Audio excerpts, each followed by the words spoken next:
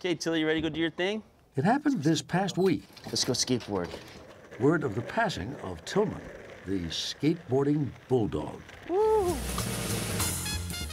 Resident of Oxnard, California, the agility of Tillman was known around the world. His high velocity videos were internet favorites, and his exploits were legendary. Most famously, perhaps, he won the coveted Guinness World Record for fastest skateboarding dog back in 2009.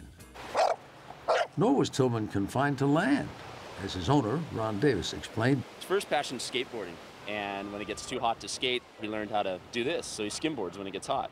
Sadly, Tillman suffered from a chronic irregular heartbeat.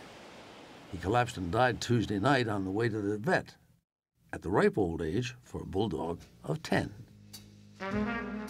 From dry level pavements to oceans in fog, Nothing stopped Tillman, the double thread dog. Be it skateboard or skimboard, he went ever faster. Condolences, please, to Ron Davis, his master.